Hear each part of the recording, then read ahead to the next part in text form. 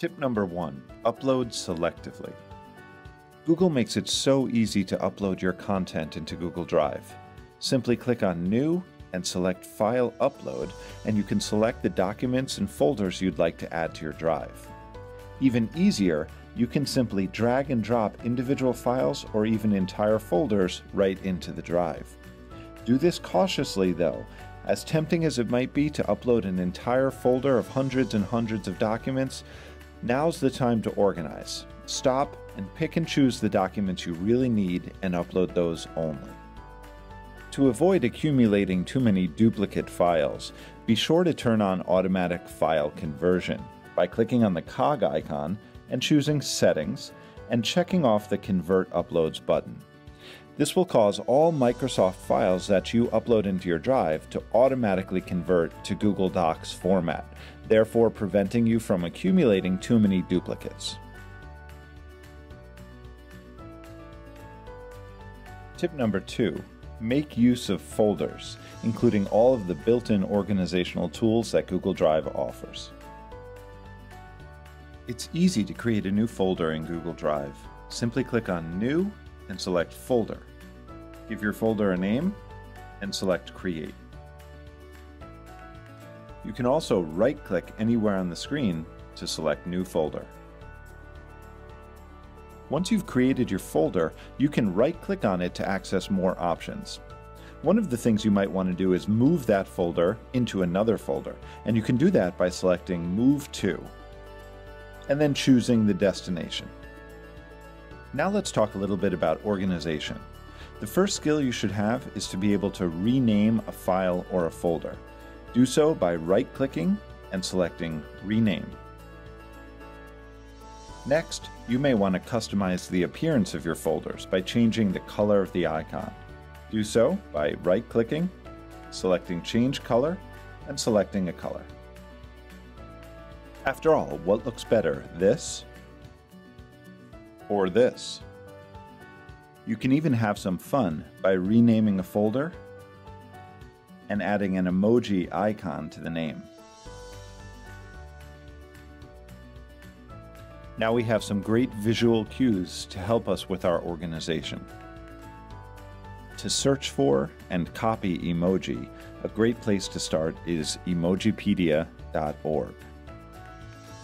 One final tip to help you quickly and easily locate specific folders or files is that you can add a star to any of them by right-clicking and selecting Add Star.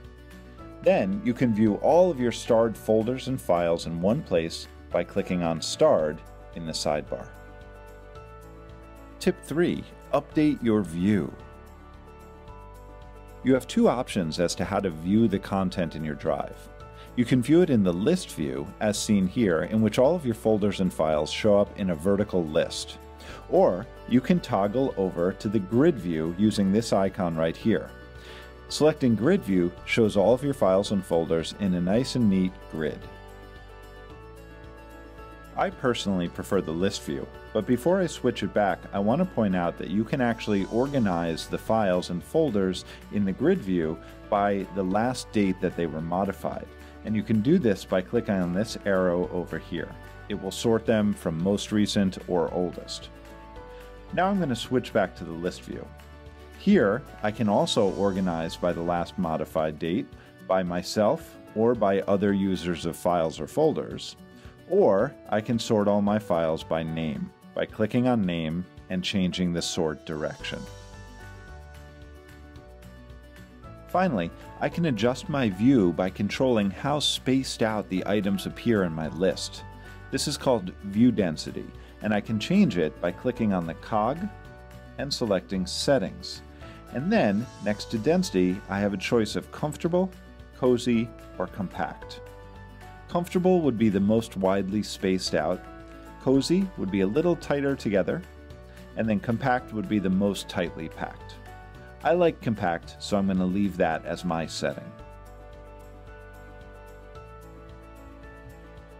Tip number four, rethink your tools. A complaint I often hear is that people's Google Drives are just completely overrun with dozens and dozens of docs, making it next to impossible to keep an organized system. Part of the reason this happens is because people turn to Google Docs every time they need to jot anything down on their laptop or device. Even if it's something as simple as a couple lines of notes at a meeting or a shopping list. So perhaps a way to solve this organizational challenge is to reconsider the tools you're using. Only use Docs for more significant documents where you need all of the power and editing capabilities that Google Docs offers. If you're simply jotting down some notes at a meeting or keeping a list or trying to keep track of reminders, perhaps consider using another tool like Google Keep. Visit keep.google.com to access this powerful note taking tool, which can be used on any device from anywhere. And all notes are synced across devices. Hopefully, by shifting your note taking from a Google Doc to Google Keep, you can keep your drive more organized. Tip number five dealing with the Shared with Me folder. While we have lots of control over the look and organization of our own Google Drives, we have very little control over the organization of all of those dozens of files that have been shared with us. In fact, if you don't believe me, take a look in your Shared with Me folder, and you'll see dozens and dozens of files and folders that have been shared with you over the years, most of which you won't even recognize. So let's look at a few different ways that we can tame the Shared with Me folder. The first thing I'm going to do is switch into grid view so that I can see thumbnails of all of the items. This allows me to get a little bit of a preview of documents so that I might be able to recognize them and decide what to do with them. Now keep in mind, there isn't a lot we can do. I can't really move these around, drag them into folders, or do the types of organizational things I would do in my own drive. But what I can do is take a file that might be of particular importance, like say this Google Slides file right here, and I can click on this button right here. And what it will do is add it into my Google Drive. Now it's not actually creating a copy of the file in my drive, it's basically creating a shortcut to that file that I can access directly from my drive.